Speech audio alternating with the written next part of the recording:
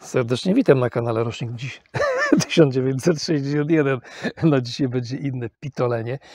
Chciałem Wam pokazać e, tarcze hamulcowe od Hyundai Santa Fe rocznik 1963. No tutaj taka sytuacja była, że jak się już samochód cofał, to e, blokowały tarcze hamulcowe i e, po prostu ciężko było cofać tym samochodem do tyłu. Nie dość, że się klocki jeszcze poluzowały, to te tarcze były tak zerżnięte, zjechane, które mają tyle lat. E, muszę Wam pokazać, w jakim one w ogóle stanie były, całe zardzewiałe.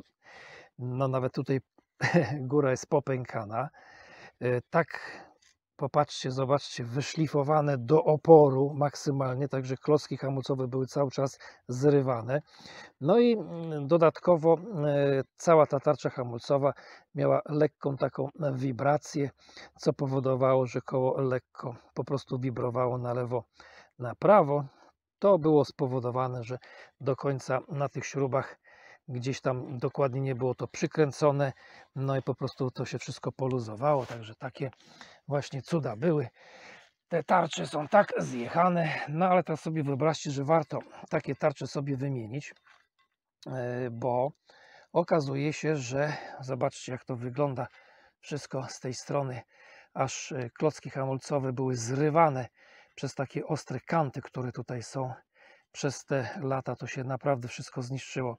No i teraz sobie wyobraźcie, że e, taki jedną e, tarczę hamulcową tylną do osi tylnej, no to można kupić w granicach 80-90, załóżmy do 100 zł, komplet e, z, z, tymi jeszcze klockami hamulcowymi można kupić już nawet jeszcze z tłoczkami, bo tłoczki można jeszcze do tego dostać tłoczki też były już wyjechane, no to w granicach 300 do 400 zł taki komplet można już dostać. Także warto wymieniać y, takie tarcze hamulcowe po 15 czy 20 latach. No ale teraz pokażę jak wyglądają już założone.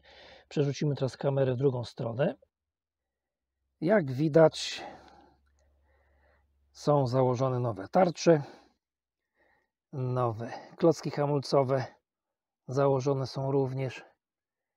No i na jednym i na drugim kole teraz można bezpiecznie takim samochodem jeździć. Także zawsze przypominam, że warto wymieniać co 15 załóżmy lat 3,20 całe te tarcze hamulcowe. No i jeszcze na koniec powiem Wam taką e, szarą rzeczywistość. Tutaj, gdzie ja mieszkam, od wielu lat staraliśmy się, żeby na ulicy, która ma prawie 700-800 metrów długości, założyć jakieś lampy, 2, 3, 4 chociaż do oświetlenia, żeby można było bezpiecznie chodzić. No, od 45 roku tutaj światła nie było. No i byliśmy tam na dobrej drodze, żeby takie coś załatwić. No i okazało się, że teraz w dobie, w dobie kryzysu energetycznego nie założą nam lamp oświetlenia, bo jest oszczędność i nie będą nam zakładać na razie przez najbliższy rok, dwa albo trzy. Wszystkie plany umarły, także światła dalej na mojej ulicy nie będzie. Także kończę tym optymistycznym akcentem no to się odda na złom, ale to jest tragiczne. Zobaczcie, jak po tylu latach to wygląda. No i życzę wszystkiego dobrego, wszystkim dużo zdrówka. No, do następnego pitu, pitu. Cześć.